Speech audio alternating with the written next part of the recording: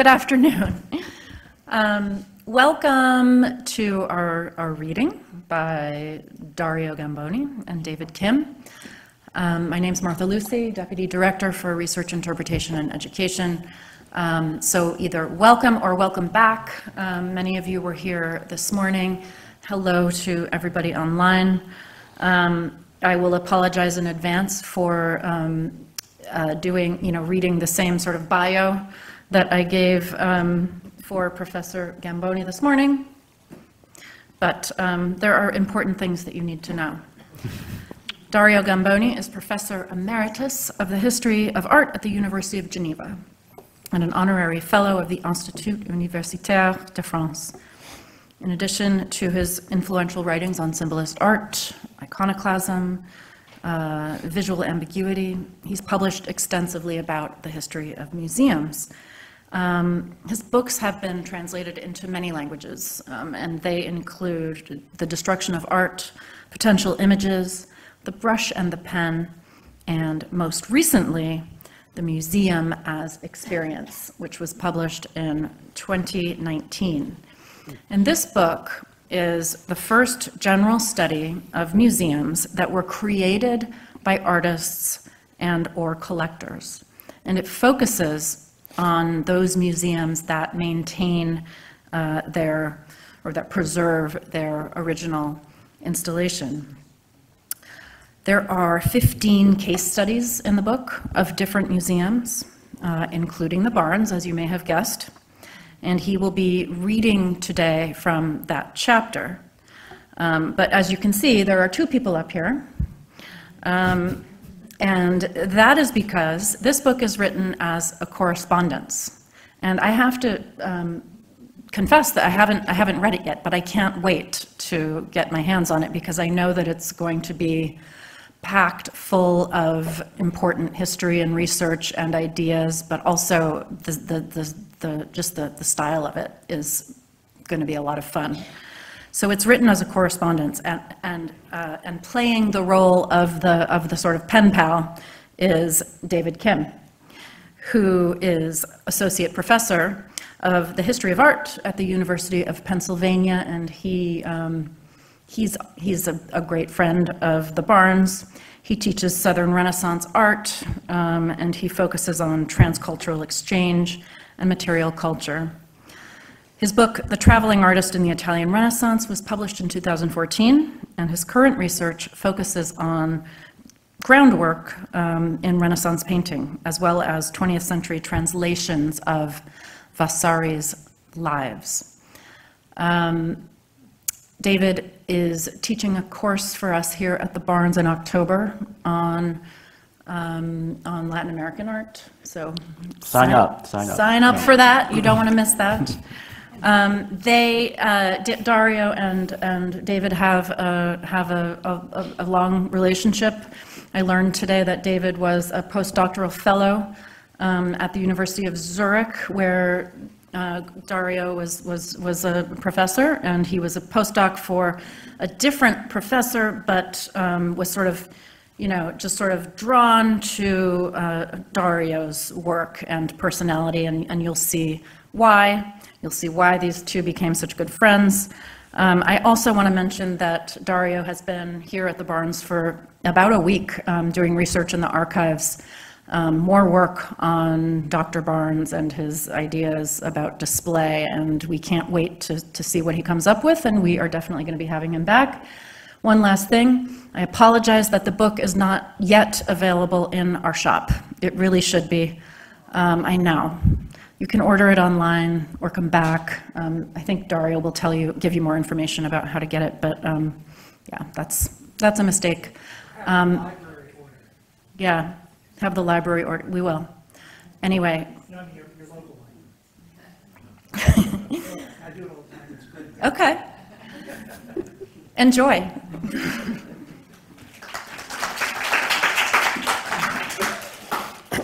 Well, thank you very much, Martha. Uh, I wish first to, to thank uh, Martha Lucy, Alia Palumbo for the organization, West Barnes for the technique, and of course the Barnes Foundation as a whole uh, to wel for welcoming me, and uh, David Kim for sharing uh, the stage with me. Um, for reasons that we might discuss afterwards, indeed, this book is written in uh, a epistolary form. It consists in uh, 150 emails exchanged over a period of one year by two cousins, Libero, an architect, and Dario, myself, an art historian.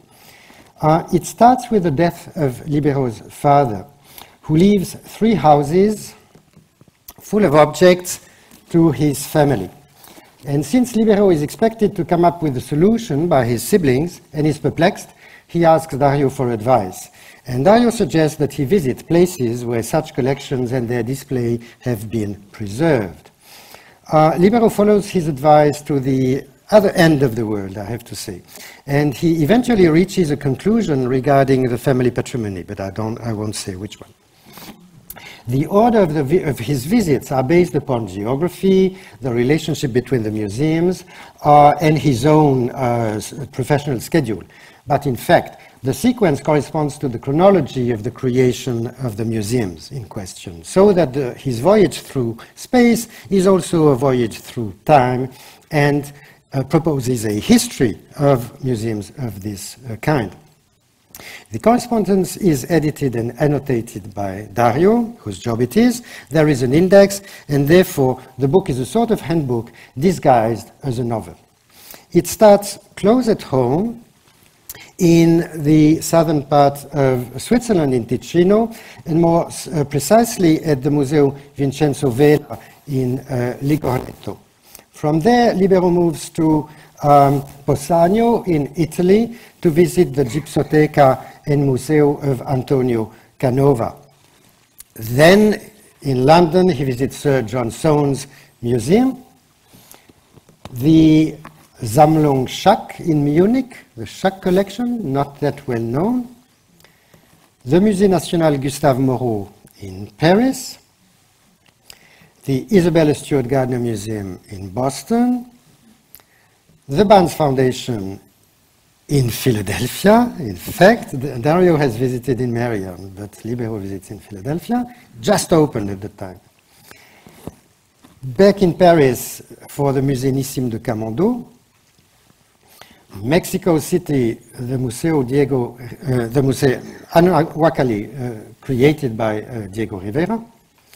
Then two museums created by the same artist, and that Isamu Noguchi, one in New York, in Long Island City, the other in Mure on the island of Shikoku in Japan.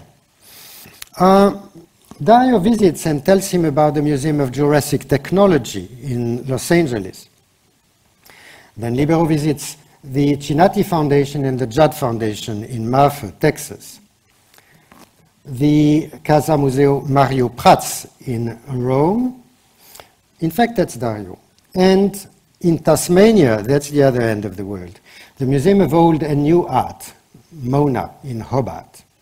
And finally, the end of his voyage is in Istanbul, where he visits the Museum of Innocence, created by the uh, Turkish novelist Orhan Pamuk.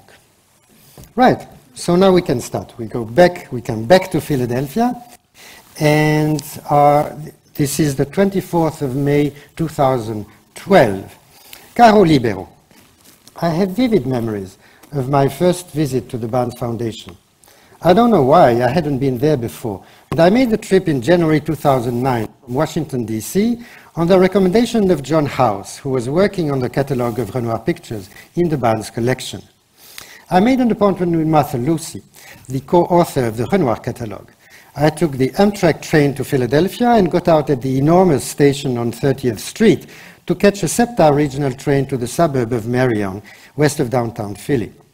I've just had a look at the photos I took during this trip, and there is one that shows the Philadelphia Museum of Art bizarrely framed by, oops, oh, sorry. Ah, yes, right. Bizarrely framed by railways. A Greek temple that has wandered into an industrial landscape. By contrast, the station at Merion is positively bucolic, like the road that I then walked down, which was flanked by every now and then by gabled manor houses in Parkland. On the right, a plaque on a gate told me that I had arrived, and I entered a tree-filled domain where stood three classicizing buildings built in warm-colored dressed stone, roofed in rather Mediterranean-looking red tile. The function of the main building was indicated, if at all, by some unexpected ornaments. Cubist low reliefs in the upper part of the facade, and African motifs in polychrome ceramics at the entrance. I received a very gracious welcome and was even permitted to take photographs of the interior. That afternoon, I also went to visit Kerfeal, Barnes, Barnes's country house, some 40 kilometers further west, with Judith Dolkart, the curator of the collection. The only thing I didn't have time to see, unfortunately, was the arboretum behind the gallery at Merion. The discovery of the collection is quite a shock, as you will see. The density, variety, and quality are extraordinary. What I found most striking and intriguing was the arrangement, the distribution and grouping of objects, which are for the most part symmetrical. They had clearly been long meditated, but conformed to no conventional criteria, such as history or geography, nor any monographic ambition, despite the very important ensembles that Barnes put together. 180 works by Renoir, 69 by Cézanne, 59 by Matisse, and 46 by Picasso, no less. The logic of the arrangement is for the most part formal, and it transcends categories, making, for example, no distinction between the fine, the decorative, or the applied arts. There is no suggestion of a new typology, but it, set, it sets up an unexpected play of echoes and contrasts, very interesting to observe, and even to discover, since it is not explicit, and one wonders whether the relationships one perceives are what motivated these juxtapositions. To give you an example, on the north wall of room 23, upstairs, a picture by Giorgio de Chirico is closely framed on one side by Picasso's Girl with the Goat and on the other by a large church candle, whose color and form match those of the tower, that is the principal motif of the De Chirico.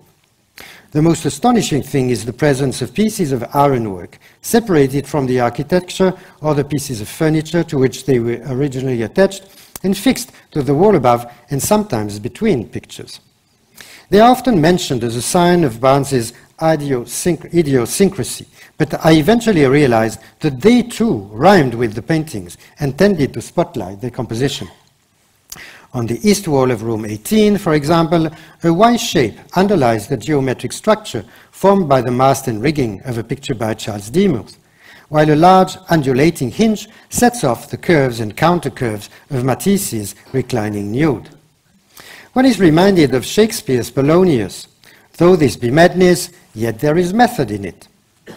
And yet there is, I think, no madness, at most a little humor.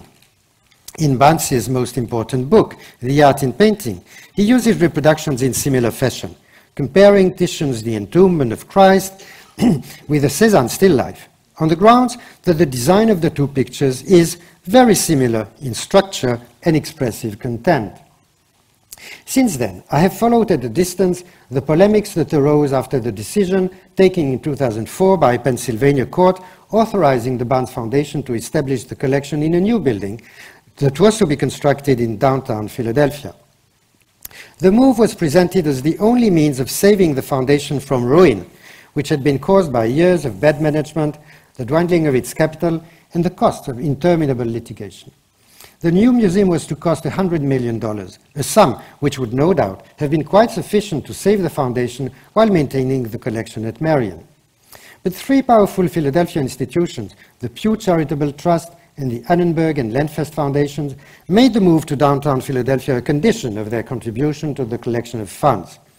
These institutions also contrived to obtain representation on the new and larger board of trustees, finally putting an end to the control exercised on that board by Lincoln University, a college created in 1854 for black students, to whom Barnes had entrusted it shortly before his death in 1951.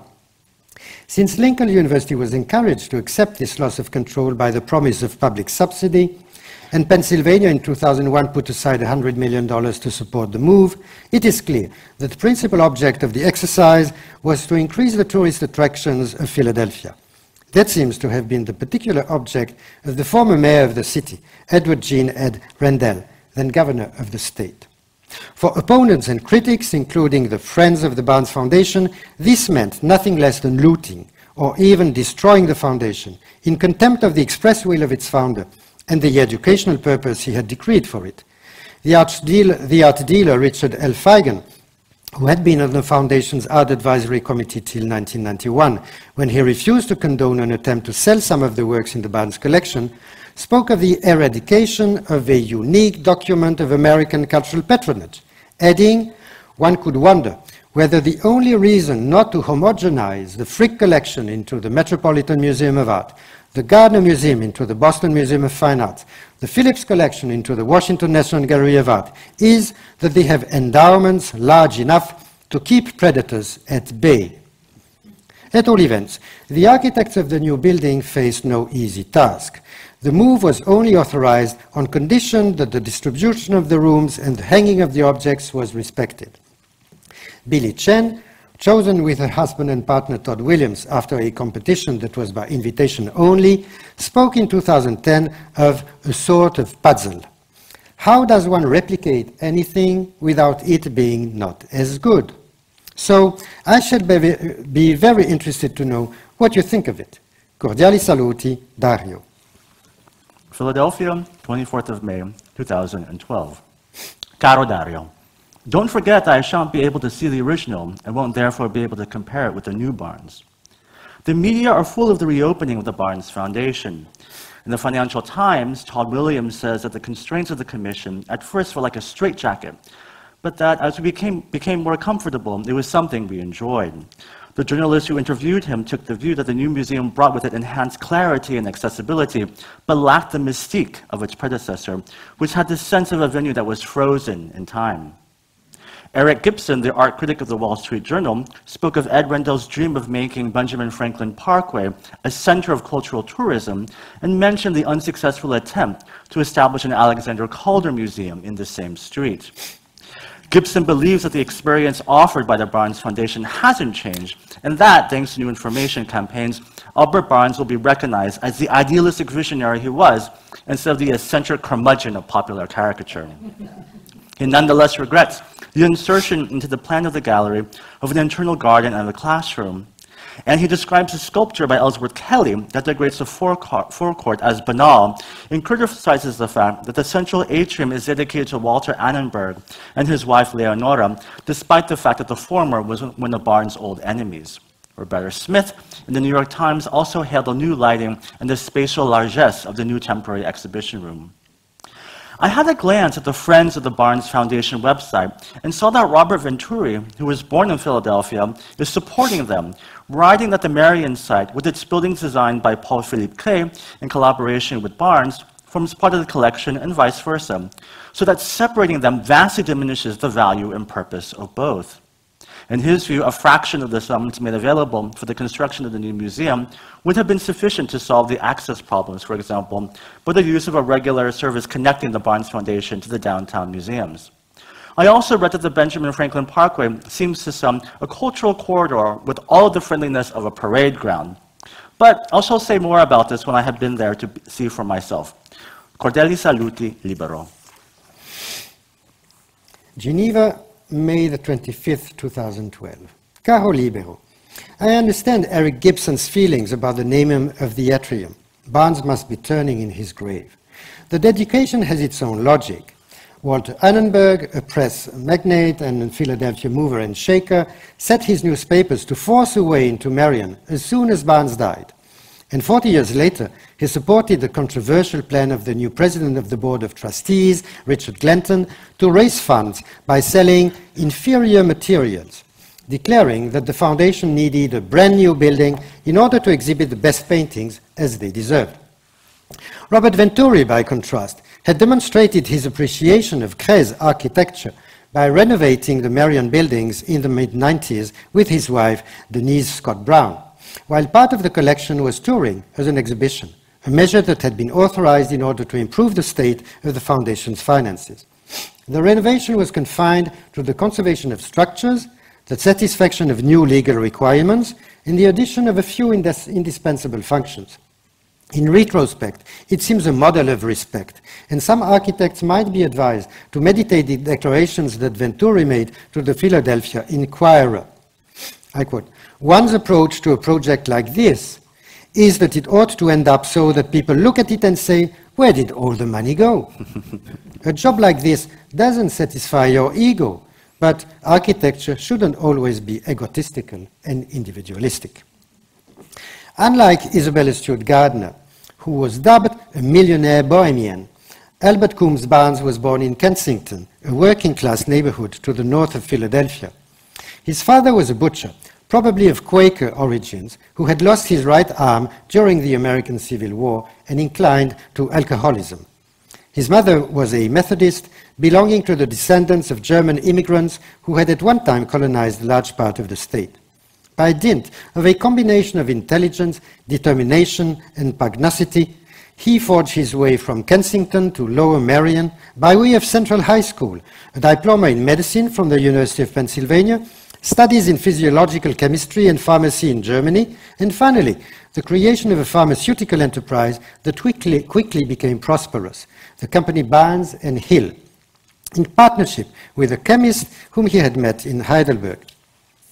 The medicine that they invented is an antiseptic made of mild silver protein compounds, which was regularly used to prevent blindness in the newborn, particularly that caused by venereal infections transmitted in utero to free people from he their heredity and, as it were, open their eyes, this was also Barnes' mission as a collector and teacher, since, in his view, anybody at all, whatever their origin or status, was capable of understanding art. In order to do so, they had to learn to see as the artist sees.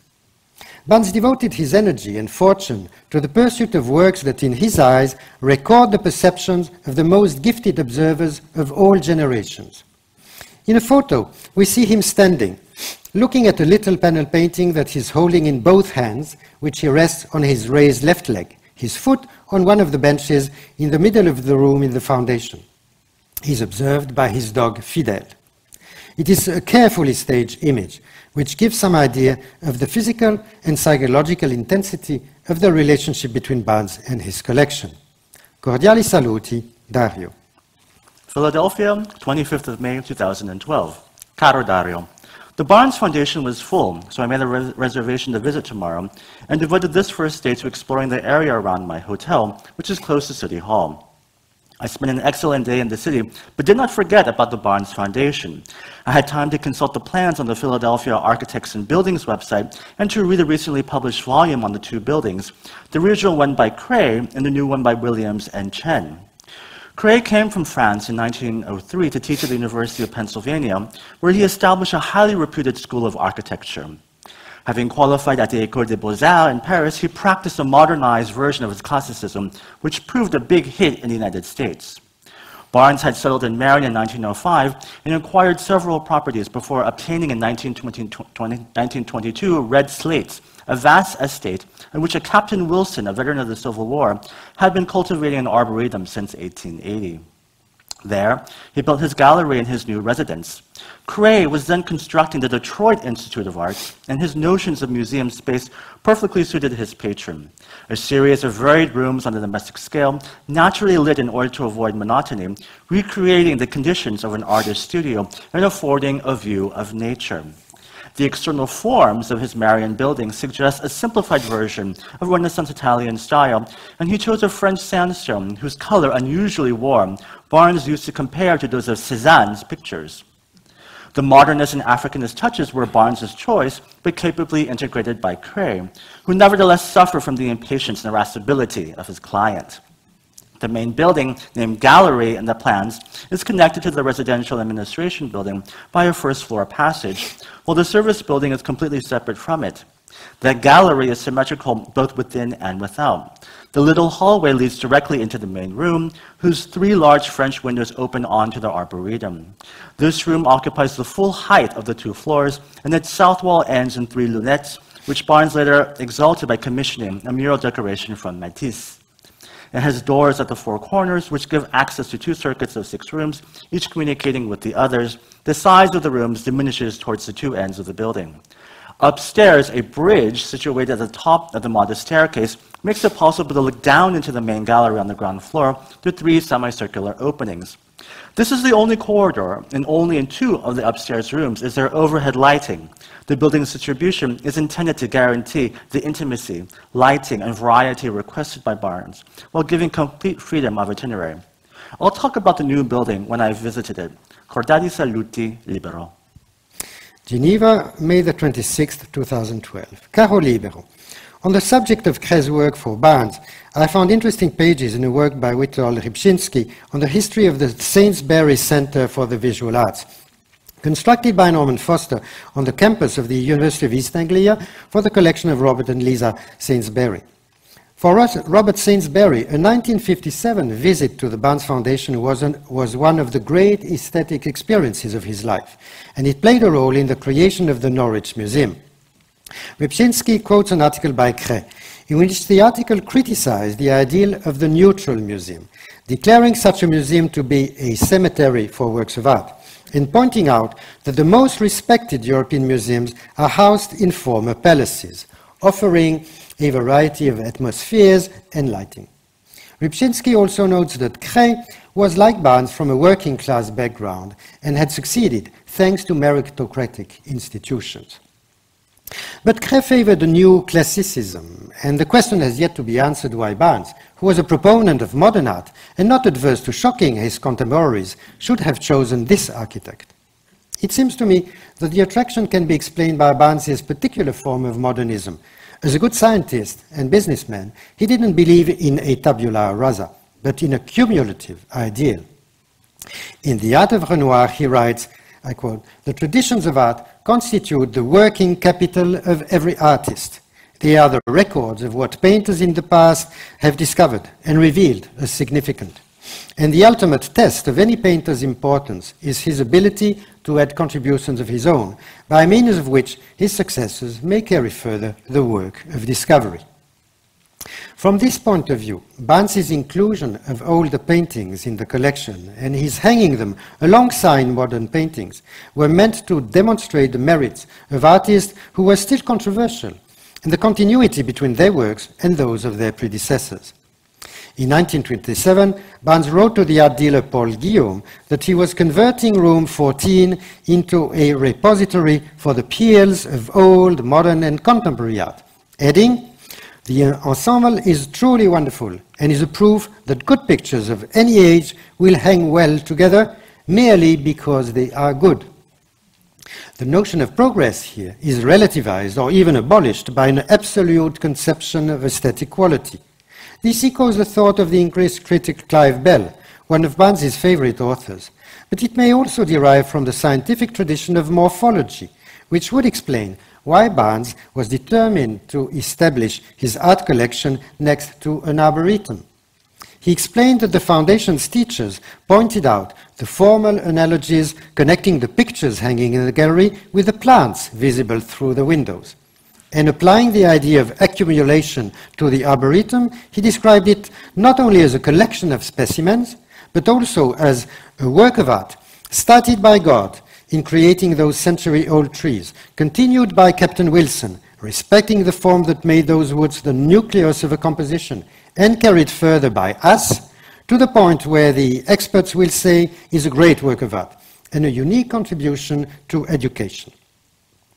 The us in this sentence included Laura Leggett Barnes, the collector's wife, who made the Arboretum her own personal domain and developed a parallel program of horticultural, arboricultural, and silvicultural courses in dialogue with the University of Pennsylvania. The Barnes Foundation was registered in 1922, and its stated objective was to promote the advancement of education and the appreciation of the fine arts by constructing and maintaining a gallery for the exhibition of works of ancient and modern art. This was an enlargement of the experiment conducted from 1908 onwards in the little company of which Barnes was by then the sole proprietor. He reorganized it on a cooperative model in which, of eight working hours per day, two could be devoted by the workers to a reading seminar, the use of a lending library, and the examination of pictures from the Barnes collection hung on the factory premises.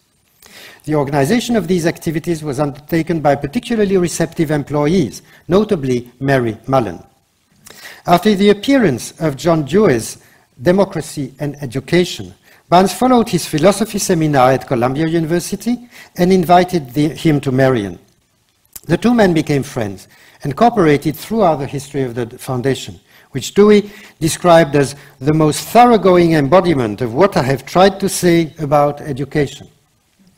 Barnes encouraged Dewey to give a course on aesthetics at Harvard in 1931, which was published under the title Art as Experience and dedicated in gratitude to Barnes. The intimate link between thought and action, the application of scientific method to the problems of contemporary life and society, the primacy of the direct perception of objects over the transmission of facts about those objects. These tenets of pragmatism are at one with Barnes's theory that the artist illuminates the objective world for us exactly as does the scientist, different as the terms are in which he envisages it. In Barnes's view, modern painting is defined by the emancipation of the plastic content from the subject matter which again corresponds to the thinking of Bell and of Roger Fry, whose collection of essays, Vision and Design, Barnes admired. But his view cannot be reduced to a narrow formalism, since he considered that the importance of a painter depend on his ability to fuse subject matter with the plastic means. Barnes owed his access to new painting and the modernist milieu to William James Glackens, an anti-academy painter whom he met at Central High School and recontacted in 1911. These were the years immediately preceding the Armory Show that introduced the European avant-garde to the wider American public. Having first sent Glackens to Paris in 1912 with uh, $20,000 to spend, Barnes thereafter made his own purchases. And though he dispensed with advisors and connoisseurs, he had to deal with art dealers, playing them off one against another, and promoting the young Paul Guillaume, whom he dubbed foreign secretary to the foundation.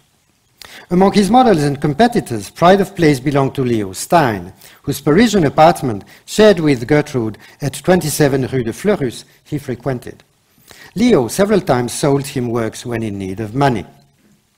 The dissident and controversial character of modern art fitted nicely with Barnes's love of struggle and his faith in the ability of the critical mind to free itself of habits of thought in order to base its judgment on empirical criteria. The defense of this art justified the proselytism, not to say messianic tendencies to which he was inclined, especially since there was still no major museum open to contemporary tendencies in Philadelphia. As in Washington, where Duncan Phillips, too, was creating a collector's museum devoted to modern art. The Pennsylvania Academy of Fine Arts was not hostile to innovation, and in 1921 went so far as to hold an exhibition of paintings and drawings showing the most recent tendencies in art which Barnes hailed, buying eight of the exhibits.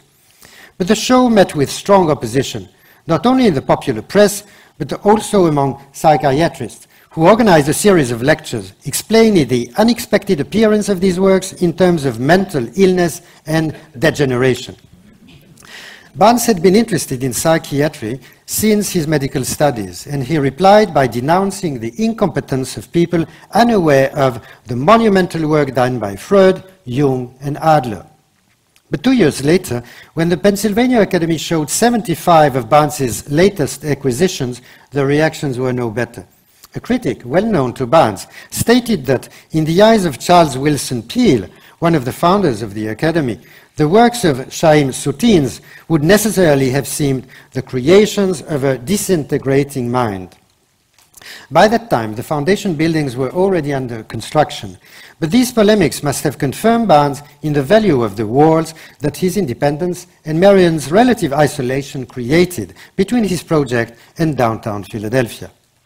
I can't wait to hear what the museum looks like now that it has left its Marion haven. Cordiali saluti, Dario. Philadelphia, 26th of May, 2012. Caro Dario, this morning I reviewed my local history and the town plan before walking to the Benjamin Franklin Parkway. In the late 19th century, the City Beautiful movement sought to endow American cities with a monumental grandeur inspired by the classicism of the Paris École des Beaux-Arts. In Philadelphia, this took the form of demolishing 1,300 blocks in order to create the Fairmount Parkway, its original name, a broad avenue diagonally crossing the northwest quadrant of the city in order to connect City Hall and the business quarter to the park, passing through the region of educational activities grouped around Logan Square.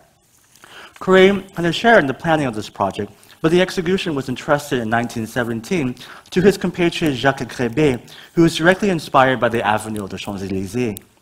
He redesigned Logan Square in circular form in homage to the Place de la Concorde, while the Arc de Triomphe was given to the Philadelphia Museum of Art, constructed in the park at the top of a hill between 1919 and 1928. The point of view on the museum that you immortalized from the train window was clearly not the perspective Gréber had in mind. The new building of the Barnes Foundation occupies an irregularly shaped block flanked by the Parkway, Pennsylvania Avenue, and 20th and 21st Streets, northwest of Logan Square.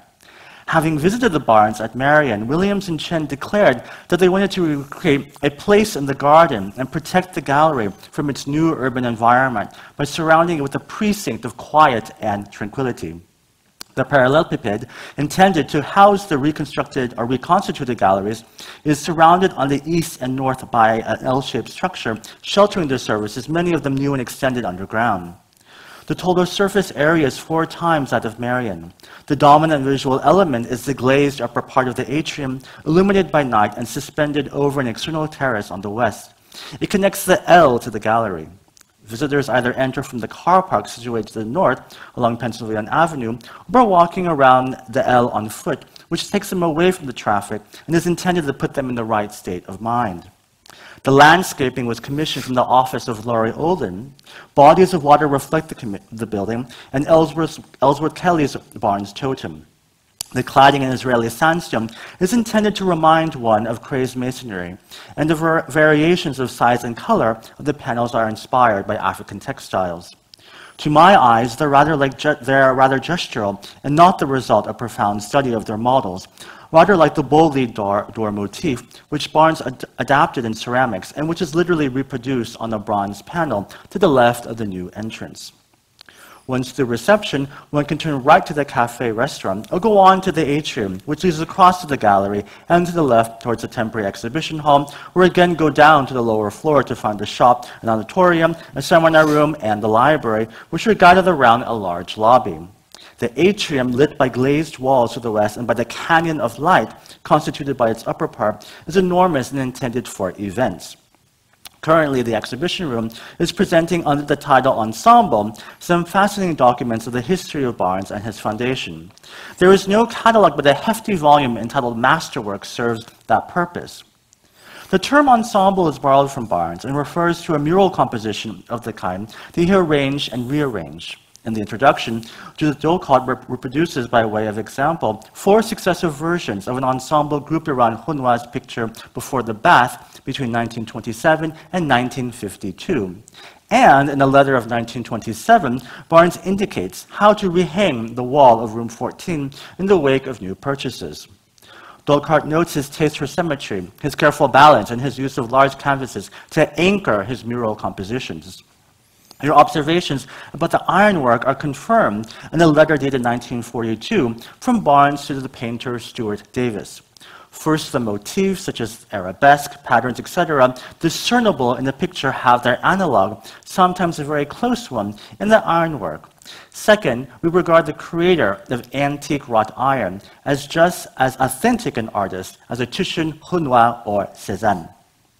From the atrium, one can see the interior of the ground room floors, ground floor rooms um, of the gallery through the windows and the entrance, which is on the same level and framed by ornamental openwork gates. The result is a sort of ambiguity between interior and exterior, and the impression that one is looking at a maquette. This sense of the unreal continued for me in the largest room, strongly lit thanks to glass that screens out ultraviolet, and where I found myself surrounded by a compact crowd equipped with audio guides in attendance very reluctant to let me see small pictures from close up. These two obstacles outweigh any advantage in increased lighting.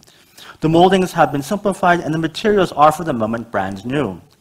In every other respect, it seems that the arrangement has been reconstituted with great exactitude. Williams and Tsien have nevertheless introduced three major changes. They sought to create plan fault lines, allowing them to bring the gardens into the building proper, and have introduced two rectangular spaces across the building, one of which is a sort of light well with trees, while the other harbors a classroom. In his article, Gibson states, in my view correctly, that these additions break up the sequence of the rooms and isolate those at either end, thus diminishing the total effect of the installation.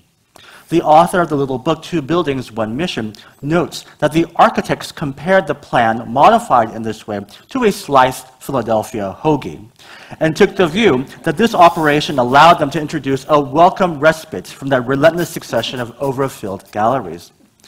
The other modifications consisted in the generalized of overhead lighting on the ground floor, which seems to derive from the desire to improve the lighting without considering Cret's point of view on the question, and the displacement of Matisse's Joy of Life from the stairwell to a little room meant for the director at Merion. There remained the collection and its arrangement, and I must say that after a moment or two, I had eyes for nothing else. I shall talk about them at greater length, but should tell you that the play of echoes and the contrast of which you spoke both fascinated and entertained me.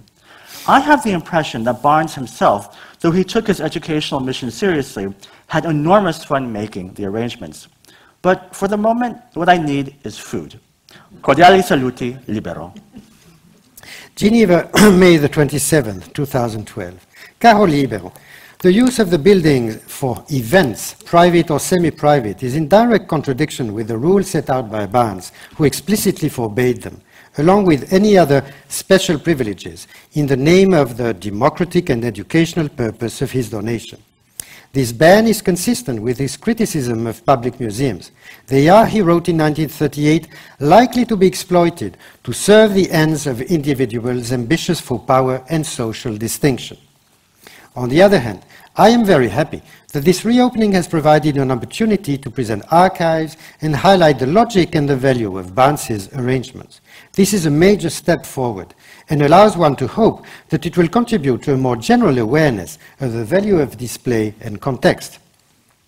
I've read the first article that Barnes published in 1915, which is very articulate about what his pictures represented for him.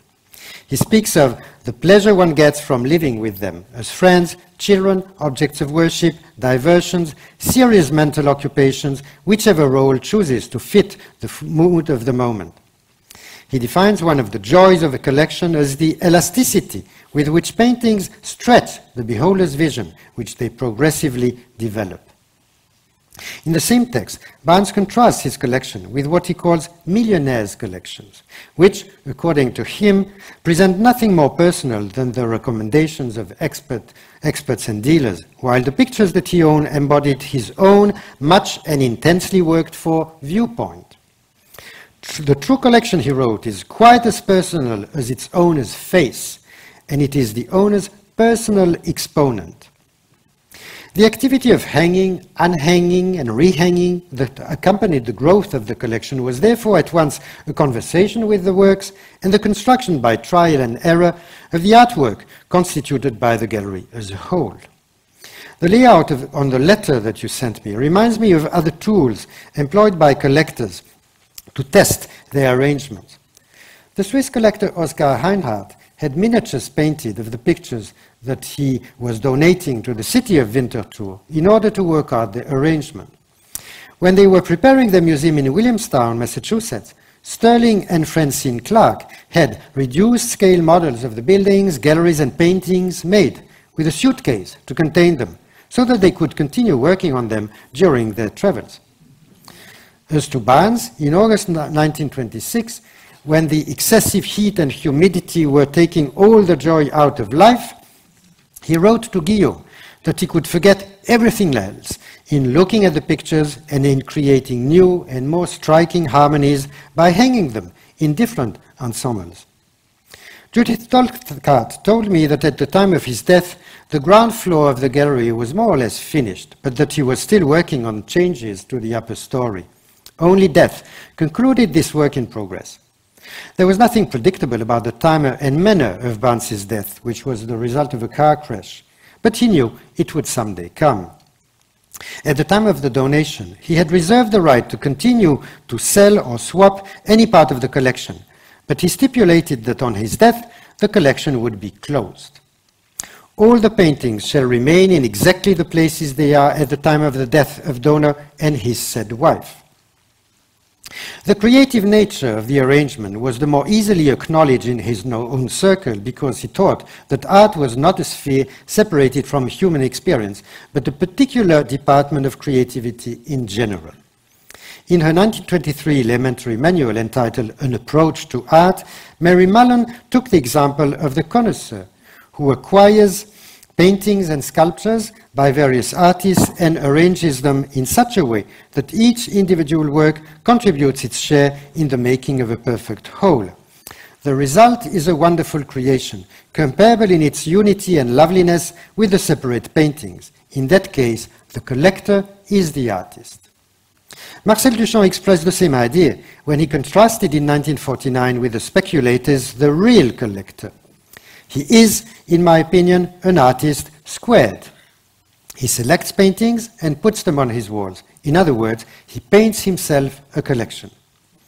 As for Barnes, he wrote in The Art in Painting that there is no essential difference in kind between the experience of the artist and that of the observer of his work, whatever may be the difference in their respective abilities. However, the ensembles at Merion were also intended to help Barnes and his students and visitors to better understand the elements, that is, the works and objects that he had collected.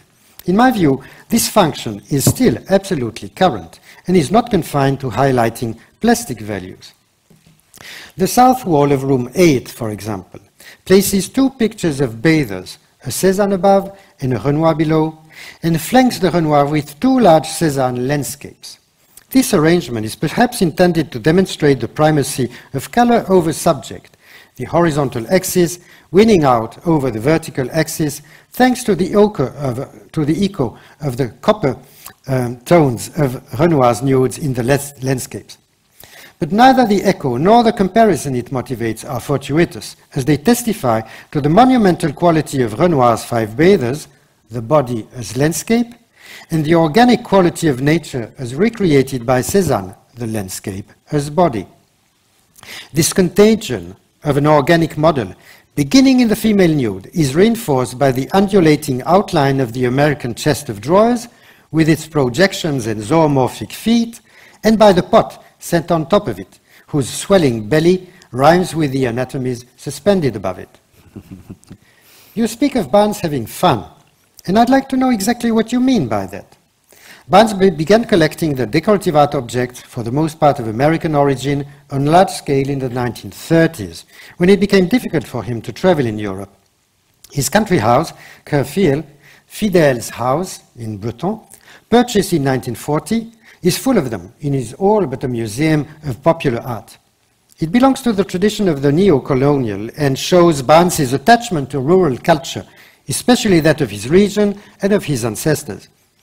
Among the models that must have inspired him in this area, there is the museum constructed by Henry Chapman Mercer for his collection of tools and everyday objects at Doylestown between 1908 and 1910.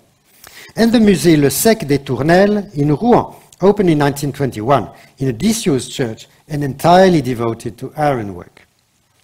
A plate from the first guide to this museum shows that Barnes, when placing ironwork close to his pictures, was relying on the suggestions of figuration that they do indeed contain. The little halberdier at the bottom could be an example of the humor you refer to. Looking again at the photos of his arrangements that I took at Merion, it seems to me that the iron pieces comment on the paintings in the manner of diagrams of formal analysis, a method much appreciated at the time, but using patterns that Barnes had found ready-made. Comparisons with Duchamp's ready-mades is the more relevant because Barnes, when talking to Dewey about artist experience, put to him the problem posed by the perception of a non-intentional image, a Picasso that he had seen opposite his office, formed by snow on a stretch of roof. According to Barnes, there was no difference in the essence of the aesthetic response in the two cases, one of them produced by an artist of flesh and blood, and the other by God, or the combination of the forces of nature. This phenomenon was rooted in the fact that vision and intelligence are co-implicative, as Barnes had long since written in The Art in Painting. But toward the end of his life, he bestowed greater attention on this, speaking of values transferred from one object to another, and adding the decorative art objects into the arrangement of his gallery. This is the state rendered permanent by his death. and it has caused a great deal of perplexity in many of his visitors. Cordiali saluti, Dario. Philadelphia, 27th of, 27th of May, 2012. Caro Dario, if I understand you right, you see these pieces of ironwork as in some sense skeletons or x-rays of the pictures? Your comparison with ready-mades seems to be justified if we add that they are assisted ready-mades. These are not only objects attached from the furniture or architecture for which they were intended and depri deprived of whatever color they may have possessed, but also sometimes assembled in unexpected fashion. There is an example of this in room 14, above the little Hunwa and the large Daumier. Four distinct metallic pieces have been assembled so, that, so as to suggest a face. I don't know whether one should connect it with Hunwa's young family or Daumier's the Ribalds, whose superimposition contrasts calm with agitation and traditional happiness with dissipation. But it seems to me that this kind of assemblage is often collocated with images of childhood. The comical effect I was talking about comes from the precision with which the ironwork sometimes seems to imitate or even parody structures or details of composition. To give you some examples, more or less at random, there's a spoon or ladle that plays at being a halo right next to Baldung Grien's Virgin and Child, a duel of pliers above two entangled news by Degas, a strap hinge reprising the motif of the splayed legs of a rabbit by Soutine, flat plates resembling the Murmillo gladiator helmets in two combat scenes by De Chirico, and another strap hinge in the shape of thorny foliage above a picture of roses without thorns. Once you attend to them, the relationships are clear, but that does not tell you how to interpret them. And this also holds for ceramics furniture and so on. Van Gogh's The Postman in Room 2 presents Joseph Etienne Roulin on the background of a kind of imaginary wallpaper featuring large plant motifs, and seems therefore to have attracted the giant strap hinges placed on the same wall, and indeed to have suggested the principle of these ornamental backgrounds on the scale of an entire wall. In certain more recent works, for example, those by Klee and Miro, their greater abstraction has made possible still more striking coincidences with the form of iron fittings. It's as if painting and ironwork coincided midway between figuration and ornament. Again, in an exhibition case in room 15, little archaic idols, according to the inscriptions, Greek, Persian, and other, occupy the same intersection of figurative and abstract form. And once we admit that Barnes cultivated density and enigma, I wondered if we should not ascribe a symbolic dimension to this prolifer proliferation of locks and hinges, which were, after all, made to open and close, fold and unfold. On the plate from the guide to the Rouen Museum, the little halberdier makes the sexual aspect of the symbolism, symbolism explicit, something that could have scarcely, scarcely escaped Barnes's notice, since he criticized the psychiatrist of Philadelphia for not having read Freud. He placed two keyhole escutcheons on either side of Courbet's woman in white stockings, not the kind of picture commonly seen in American museums of the time. Below it, he placed a trousseau chest of the kind given to young people on the verge of adulthood among the region's Pennsylvania Dutch. In a heart-shaped motif with a keyhole at its central divide appeared the name of the beneficiary and the date, Susanna Ackerman in 1792. On the top of the chest, he arranged two ceramic judge, ju jugs at the edges, and in the center a pewter pitcher whose finial lid points upward towards the pudenda of the young women. All this discreetly but efficiently points to the subject of the action, while the presence of the chest also perhaps points to what Duchamp called the passage from virgin to bride. I also found considerable interest in the inclusion of African art objects in the collection and hanging, primarily masks and statues. Barnes tended to group them in rather compact fashion, but he also organized unexpected parallels, perhaps not all of them politically correct today, with Western and notably Christian works. In room 20, uh, Mass uh, flanked the devils in the healing of Lazarus from 1400, while in room 21, six statues echo the figures in the horizontal Christ carrying the cross that bristles with halberds. On either side of a handsome mask with six long horns placed directly below the figure of Christ with the crown of thorns. So when I spoke of Barnes having had fun, I meant, as you see, rather serious fun. Cordiali saluti, libero. Geneva, May the 28th, 2012. Caro Libero, thank you for this brilliant perception. I think Barnes has found himself a pupil. What you say about the background to Van Gogh's The Postman is very precise. The style of arrangement favored by Barnes matches the art that he loved, dubbed by Roger Fry post-impressionism. In which abstraction doesn't seek to eliminate all reference to the visible, but on the contrary, to multiply associations. It is thus typical of Barnes that he bought Cézanne's Young Man and Skull, in which a tree trunk motif on the hanging that serves as a background seems to endow the model's forehead with a horn, metamorphosing him into a melancholic Actaeon brooding on some absent Artemis. Of course, I remembered the Courbet, but not the chest or the pewter object that sits on top of it. Duchamp visited the foundation on December the 3rd, 1933, and he was so struck by the Courbet that he engraved a paraphrase of it 24 years later, some months before his death.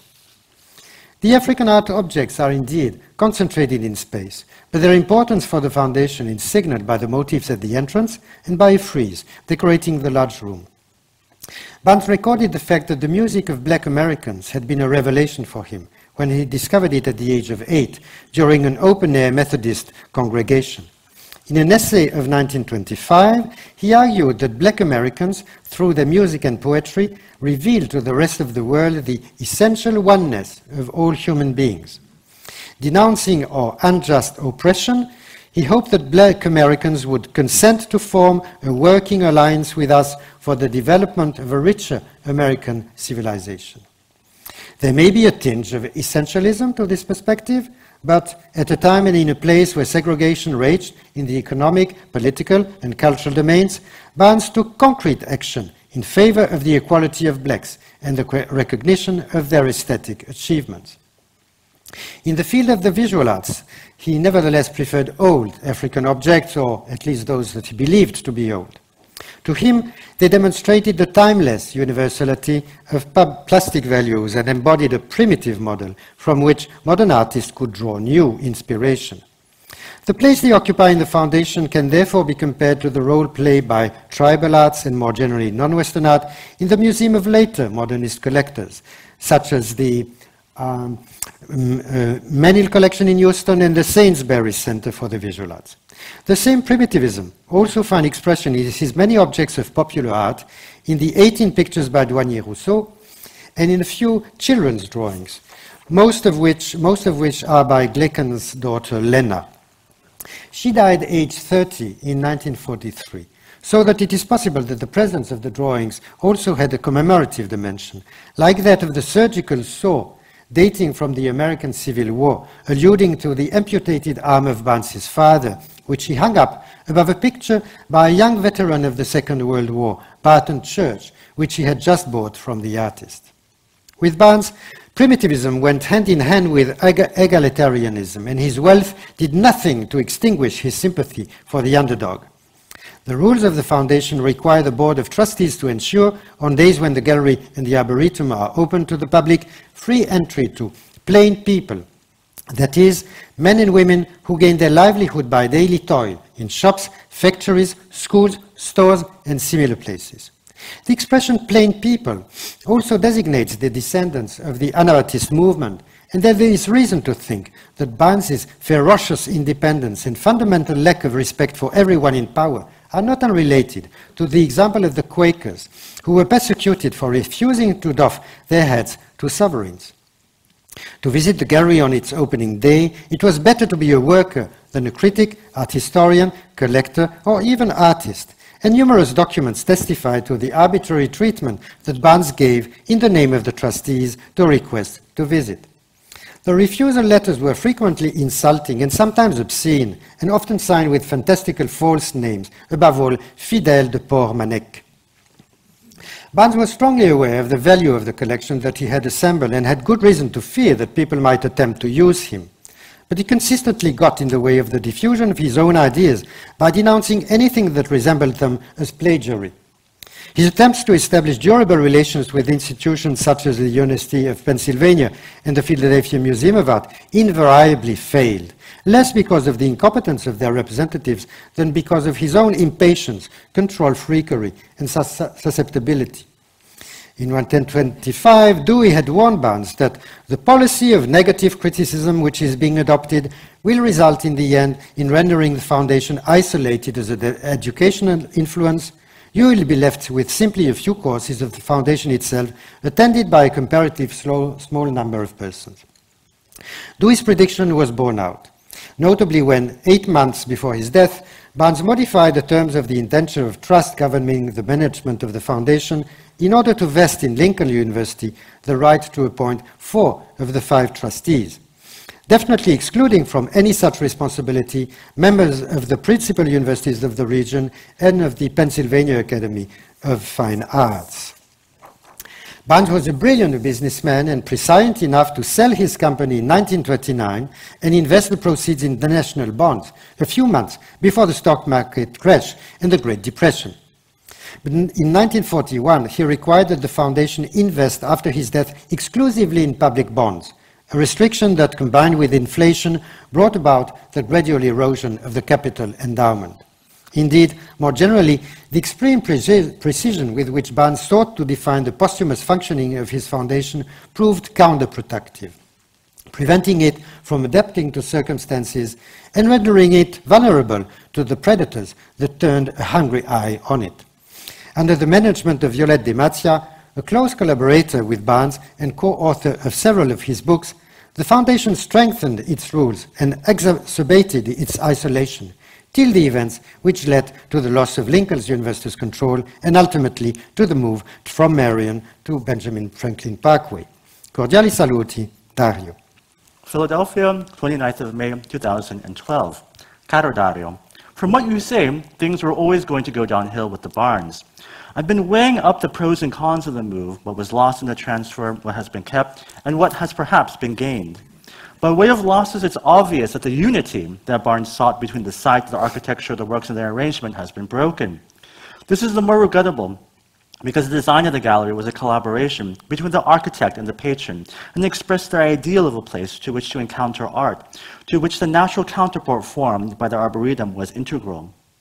On the other hand, the objects have been conserved, and to the extent that it has been reconstituted, their arrangement has too. The polemic aroused by the project to move the collection has indeed drawn attention to the interest and value of this arrangement, giving to the notion of ensemble a currency going well beyond the confines of the sect that watched over it. I've already, been, I've already begun to talk about the gains, um, in fact, to which I should add the number of visitors allowed to see the collection, whatever their reasons for do, wanting to do so. Indeed, I'm told that they spend on average twice as long there as visitors did in Merion, thanks to the presence of the cafe restaurant. As regards the new site, it must be acknowledged that it is a long way from what Barnes desired, but it may well have compensating features. The proximity of other similar institutions is not a bad thing in itself, though it can lead to cultural consumerism. And Barnes's Francophilia is in good company here, even though it's not exactly the Champs-Élysées. I wanted to visit the Rodin Museum, which stands on the block next to the Barnes Foundation on, on the northwest, but it's being renovated. An ensemble of works by Rodin does complement those of Cézanne and Renoir brought together by Barnes, especially since he had relatively little taste for sculpture. So the situation doesn't seem to me desperate. I'm aware that I have been influenced by discovering the foundation at Philadelphia and imagine that you take a different view of this question. I had a wander around the Philadelphia Museum of Art, which I already knew, and lingered in the collection of Walter and Louise Arensberg, which includes a great many works by Duchamp. Another ensemble of works by a French artist, though this one was also a naturalized American. What most fascinated me was Given, Number one, the waterfall. Number two, the illuminating gas. Courbet's woman with white stockings was clearly one of the models of the nude that you see stretched out before when you place your eyes up against the holes made in the old door. Duchamp spent some 20 years secretly working on this installation, which he wanted to appear posthumously, which was indeed revealed in the museum as he desired. My stay in Philadelphia is coming to an end. I had dinner at the Waterworks restaurant, which is in Fairmount Park pumping station, below the Philadelphia Museum of Art. The food is not worth the excursion, but the architecture is interesting and the view agreeable. It's even better from the side, where one discovers that the museum has replicated itself. In fact, the reverse is true, since the pumping station was constructed between 1819 and 1822 by the engineer Friedrich Graff. I don't know whether Barnes you taught me this, but looking at the bases of these little temples, with their semicircular windows and vaulted openings for the water to come out, I realized that Graff's buildings were not just architecture parlante, speaking architecture, but anticipated the emoticon. Cordiali saluti, libero.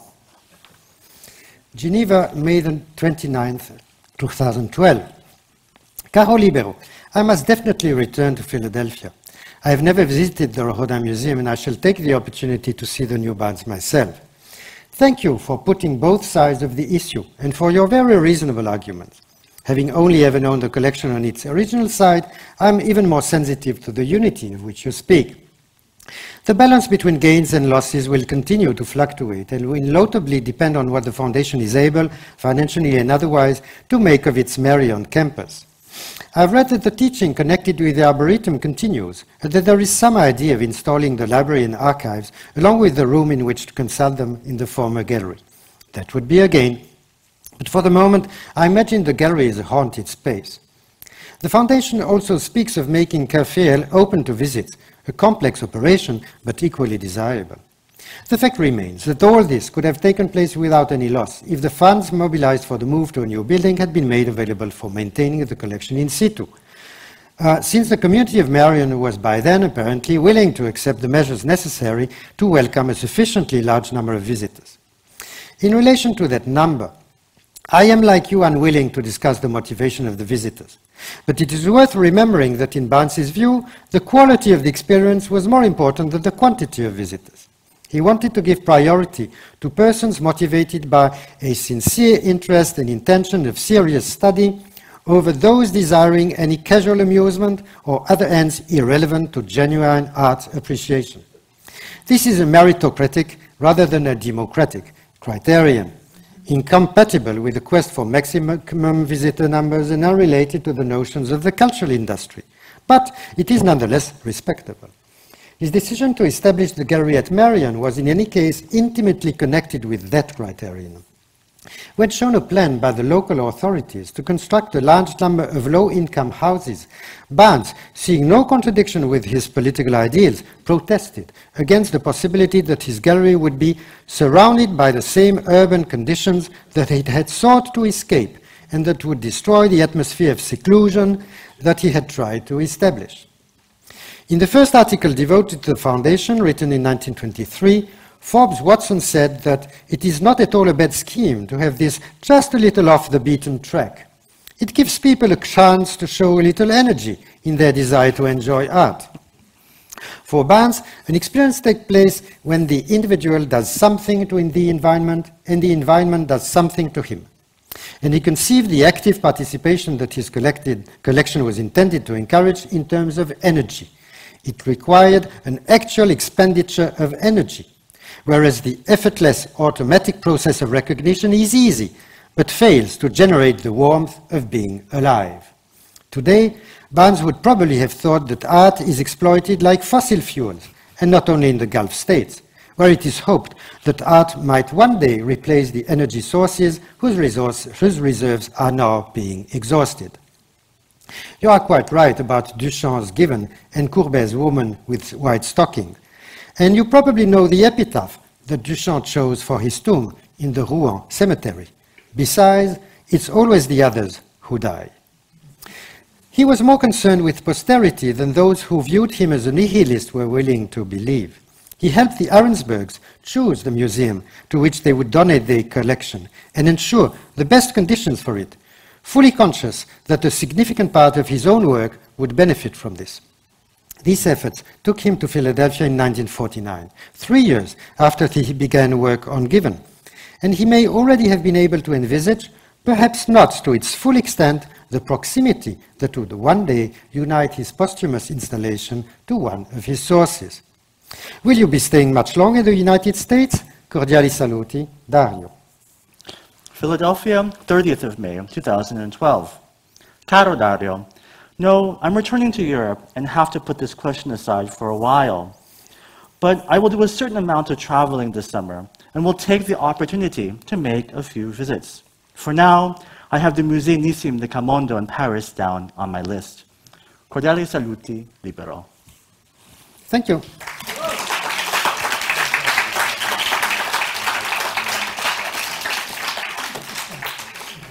So this is a little uh, advertisement from the publishers. So since it was not possible to have copies here quickly enough, Uh, it can be ordered with a 20% discount and free shipping on the website of Brepols, which is the publisher. So I can only encourage you, in case you are intrigued, you'd like to know what is the solution that Libero finds for his father's collections. Well, but now we would very, well, I'm sorry, maybe you, we would very gladly take questions and uh, comments. Or,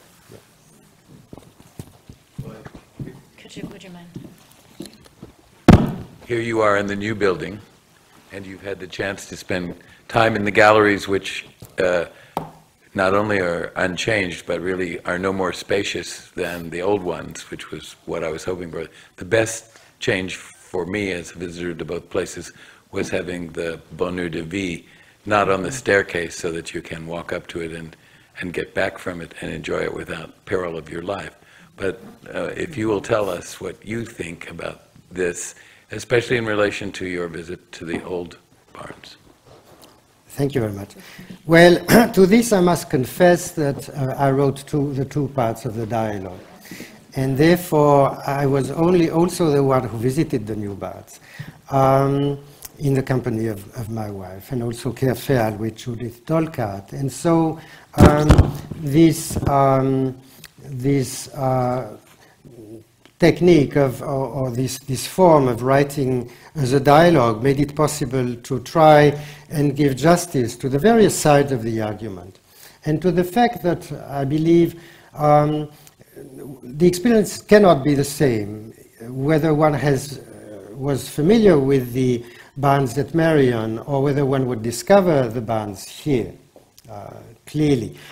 I should add to it now that I've come back and visited it again, that it also changes with time. Uh, the building is changing, the, uh, the garden is changing. Uh, it's rather spectacular. I mean, it's growing, so this is already, uh, it's not the Arboretum in Merion, but it has, there's more greenery around. And um, yeah, one also gets used to it. And um, so I, I, would say, but I've tried in this chapter again to try and, and give a, a, sort of uh, balanced. I mean, another author would add other arguments, but uh, right. So, so I think that, in a sense, at least at the time of writing, I tried precisely to uh, to to respond, in a sense, to your question the way I did, without two our two voices, right. Mm -hmm. I loved, um, I loved the approach. It was a lot of fun to listen to.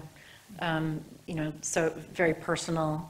And I'm curious if you, did you sort of, did you keep a journal during those days? And I mean, I'm just about, yeah. wondering about your process. Would you actually um, sort of go so, home after your visit and write things down? Yeah, so maybe to, to very briefly, it's the, the, preparing this was a long, uh, long story. Uh, it started at some point by, uh, with my being invited by uh, Rick Brettell, whom some of you may, may know, um, to contribute to what was meant to be a new series uh, about the history and theory of museums, to be published by Yale in London. Um, and he asked me to contribute one volume, and he meant these volumes to be very personal. I mean, the idea was would be authors' books and not sort of uh, systematic uh, breaking up of the total topic, which was huge anyway.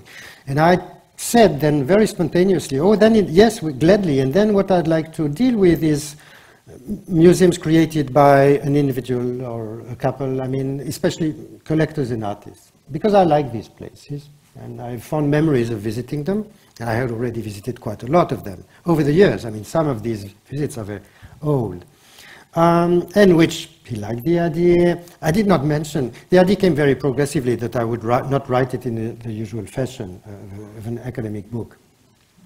Um, so, uh, and he had found money, that was the nice part also of it, in Texas to, to prepare this. So there was some money for traveling and, and having pictures taken, etc.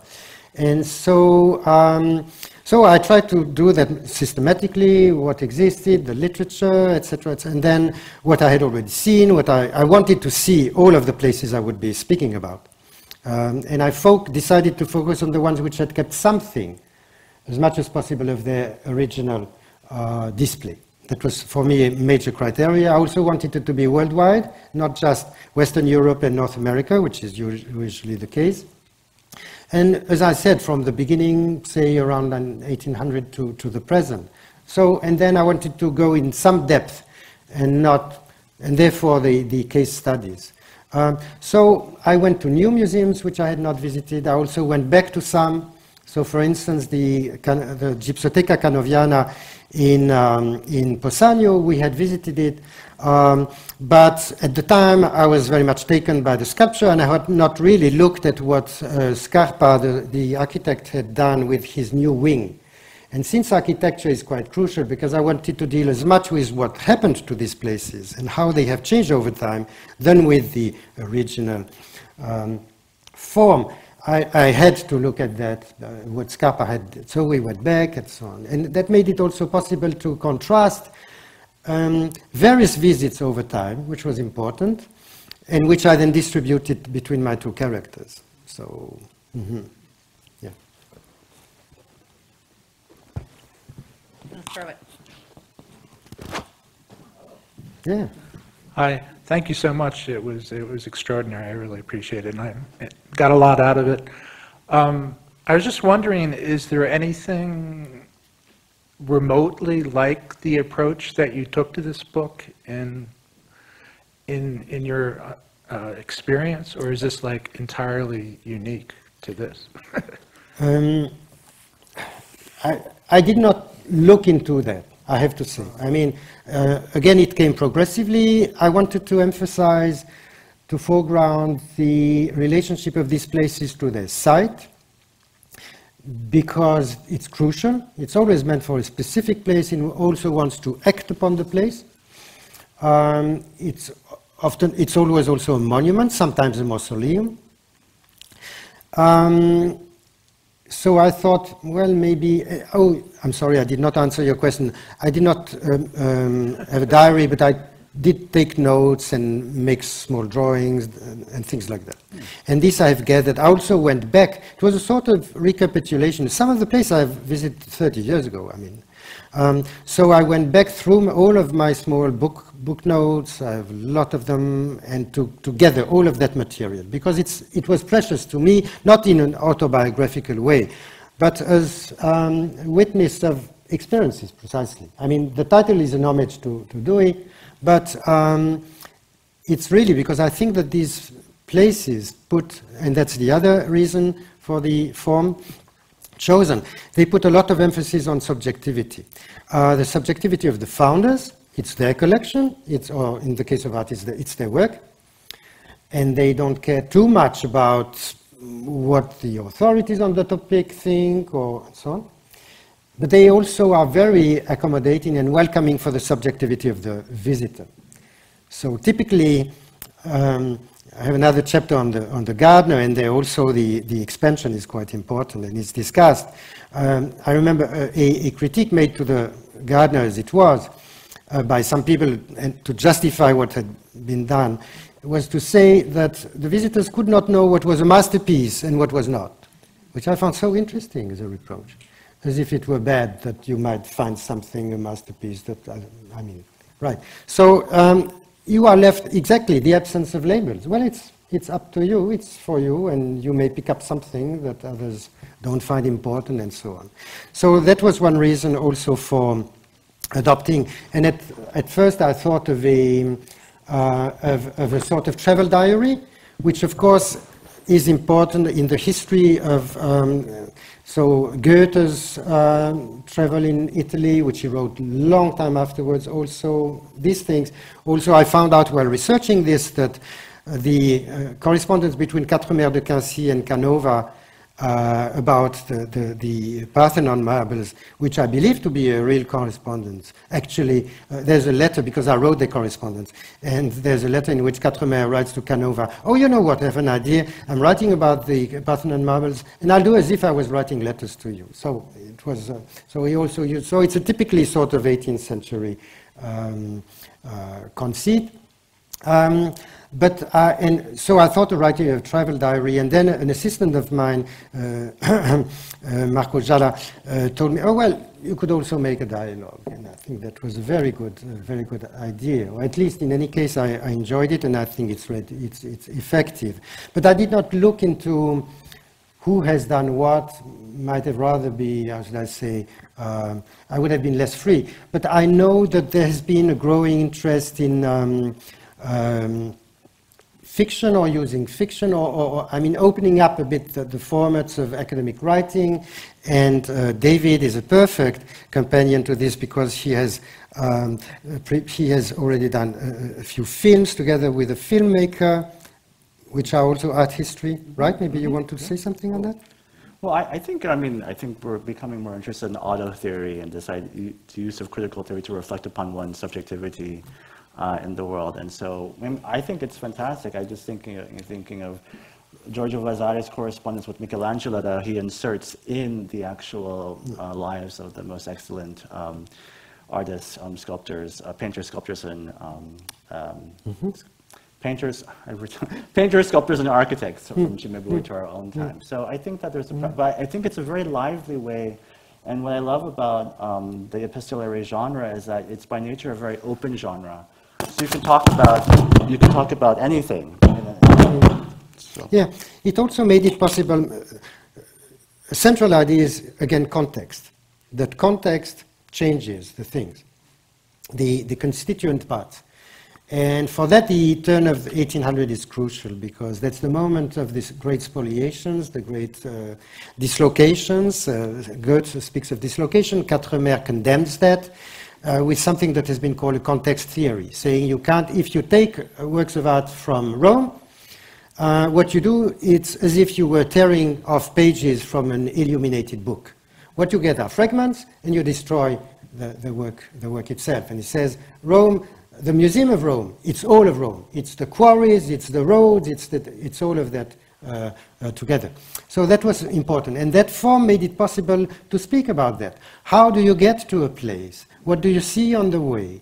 Um, even how you eat. I mean, what is the, it's, um, and I think that um, not all of it may be relevant to the same point, but, um, but nonetheless, there is theoretically a, a, sort of general relevance, and very much often in terms of architecture, clearly, I mean, Les Abords how you come to a play, that's absolutely uh, crucial. How you, how you, and for instance, my, my small play with the, uh, with the Philadelphia, it's really true. I mean, I, because when I came the first time, I went straight to Merion, and therefore I took the SEPTA train and I, I saw the museum. I thought, oh, what, what is this?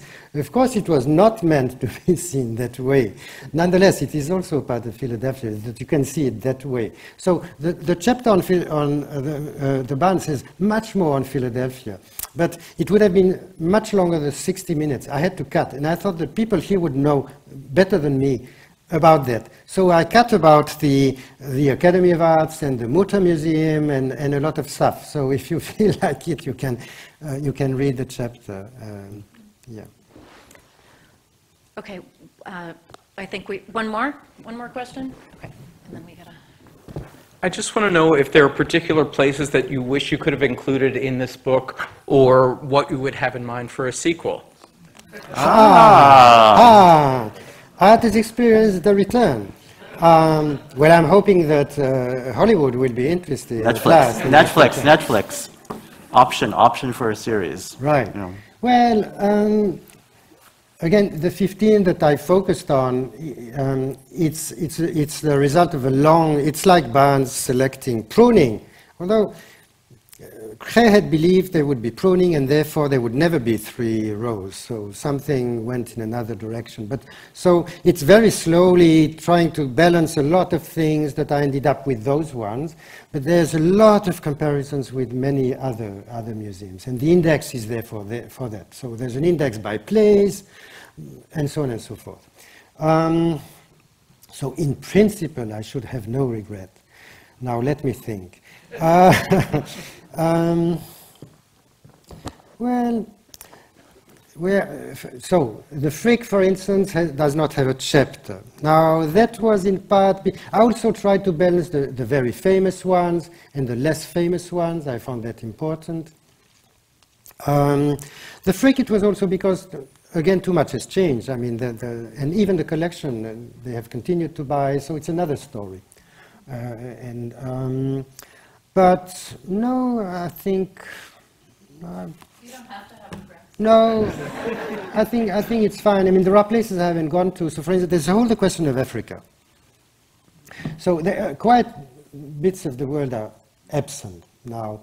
Partly, and I, I try to address that, and I, I consulted an Africanist about that, and he gave me lists, and I look into that, and then, but uh, again, this criterion, which can be discussed, but that where display is a sort of uh, auctorial act and is preserved, that tends to exclude certain parts of the world for other all sorts of reasons. So take Russia, that's because of uh, when you have a, history that is too broken, these things don't go through. I mean, they don't survive generally in, in that form. You have documentation, but that's another story. Um, Africa, there's a lot there that is clearly very interesting, but as far as I know, not that type. Maybe Egypt. So there, but if I have not regrets, but question marks, that would be in, in these directions, if you wish, where I, I, I'm maybe just not knowledgeable enough. I try to do my homework, but right, yeah. China, I know. India, there are some old uh, Maharaja palaces which seem to have. I have not seen that. Um, China, I know there are some old places, but the new, I, would say something about that, uh, because we are in the middle of, or maybe not the middle, but of a new wave of creations of these places because private collectors are, are flush. Mm -hmm. And, and the, the, uh, unfortunately, it's not the case with the, uh, with, uh, I mean, the, collect, the, the, the, the public places. So, but for, as far as China is concerned, from what I can read, uh, the little I've seen, again, these things are not even meant to, to, to reach any kind of permanence. It's more generally the sort of white box model and with things that change all the time, which is, I mean, that's fine, but it's not the same thing. And there's also the issue of um, uh, sustainability, let's say, which I think is an, is an issue. And, um, and there, for China, for instance, a phrase that often comes is vanity museums, which means they are not meant to last necessarily very long. So, yeah. so let's say I'm pleased with my selection. Thank you.